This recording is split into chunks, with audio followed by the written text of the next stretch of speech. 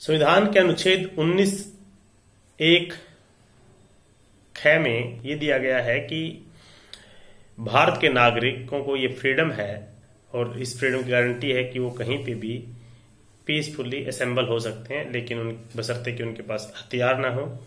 और आर्टिकल 19 में ही जो रीजनेबल रिस्ट्रिक्शन उसके लिए दिए गए हैं, वो उसके दायरे में आते हैं।